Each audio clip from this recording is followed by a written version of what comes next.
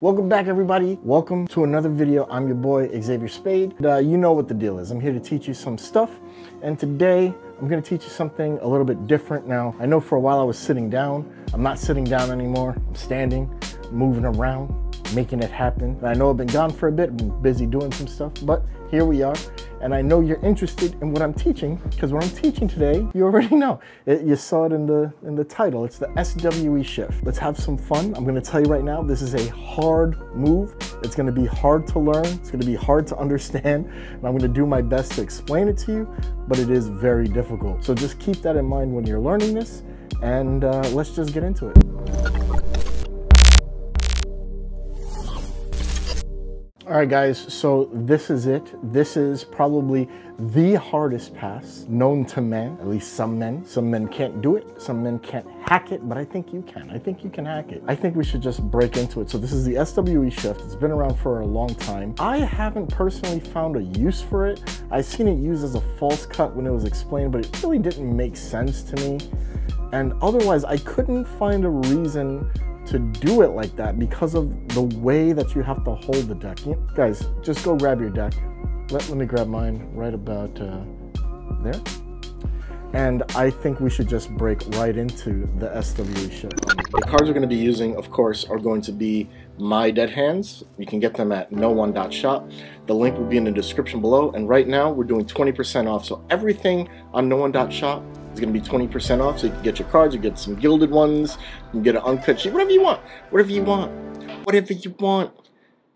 All it does is help support me, help support this channel, help me make more videos for you. There's a lot of things I'm working on right now, which is why I haven't been putting out a lot of videos, a lot of behind the scenes work. I, am pretty much changing everything. So get them while you can. No one dot shop, dead hands. I appreciate all your support. And for those of you who have them already, thank you very much.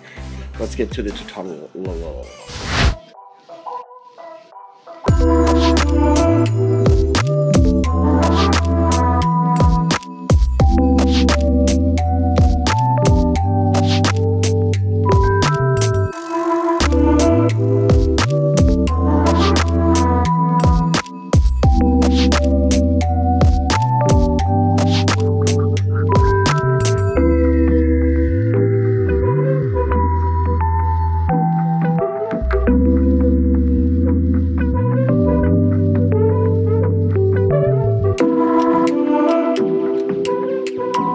Okay, so you've seen how it looks a little bit.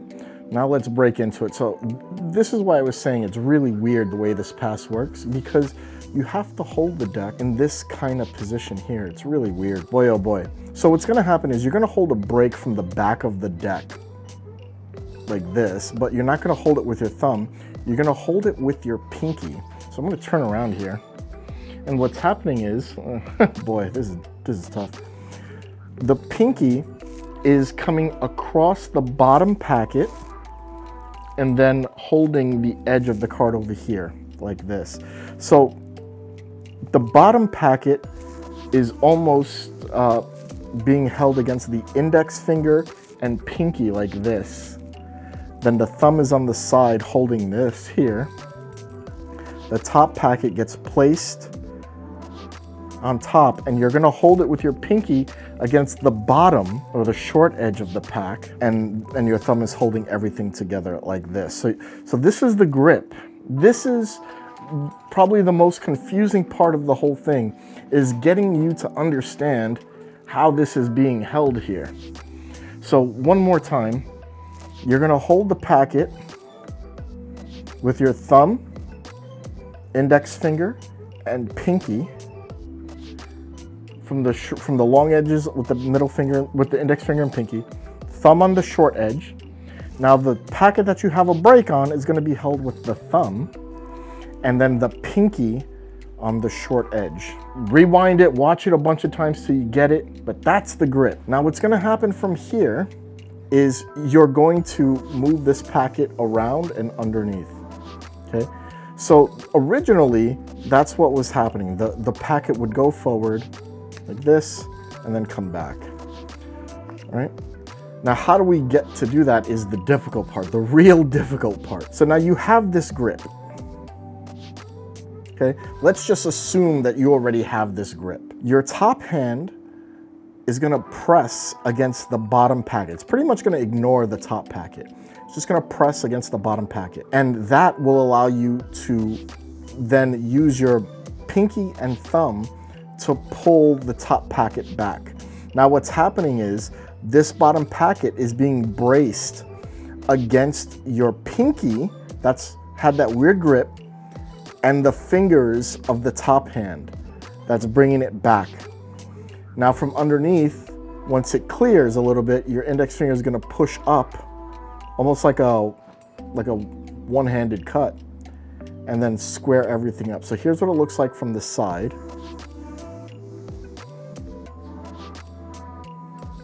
Okay, and this is that weird position.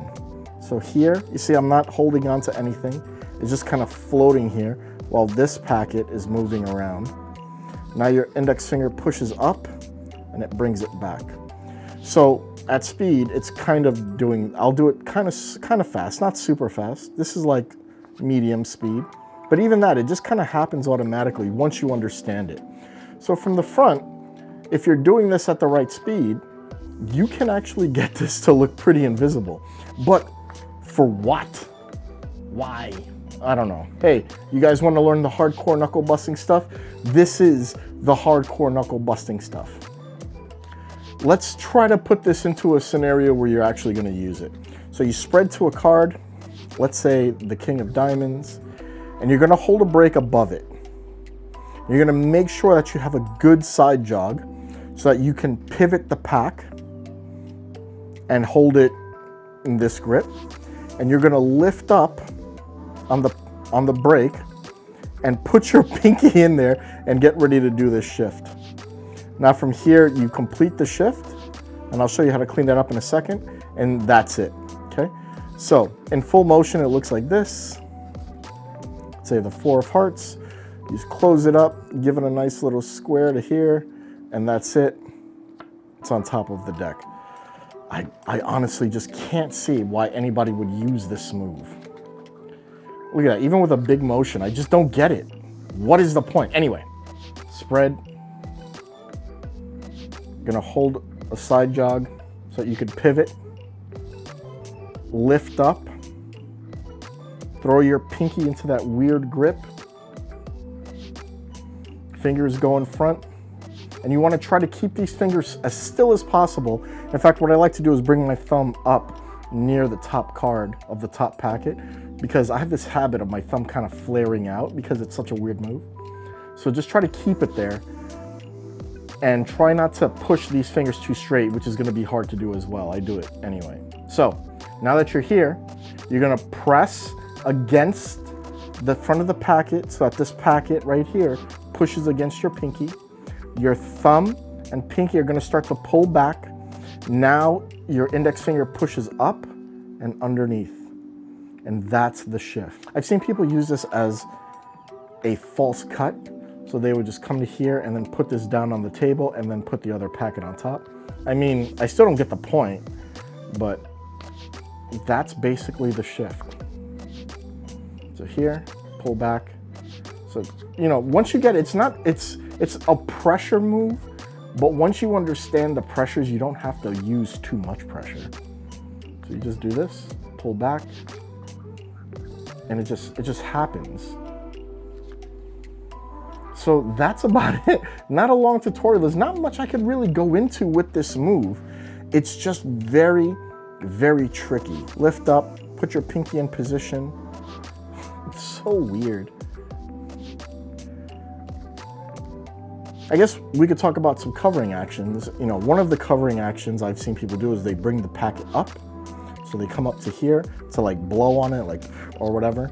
I guess that could work. You know, I guess if you're here and you come up to blow, that can work. Uh, I, like I said, I've seen people do the false cut. So they come up to here, they put the packet down, this packet goes back on top.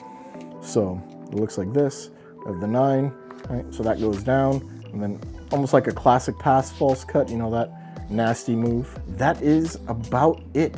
there's really not too much to talk about when you're talking about the SWE shift. It's, really a weird move, man. You know, I, am sure you guys wanted to, I hope you learn it. If you guys have something to use with this move, please show it to me because I have no clue. I have no clue what to do with this. It's just so weird. Why, why are we holding the deck I don't know. It's just weird. But it is a move. It is a shift. It is in books. There you go. If you learn the SWE shift, you're well on your way to learning the longitudinal shift, which is not too dissimilar. It's just kind of done this way. It's really weird. But there you go. Enjoy it. Like, comment, subscribe. Hit the bell if you want to be notified. what the fuck? I'll see you guys in the next video. Peace out, y'all. I'm a scrub, but you still love me. You love me. Even though I don't make no money. You've been there when the times get ugly. I'm a scrub, but you still love me. You love me. I'm a scrub, but you still love me. You love me. Even though I don't make no money. You've been there when the times get ugly.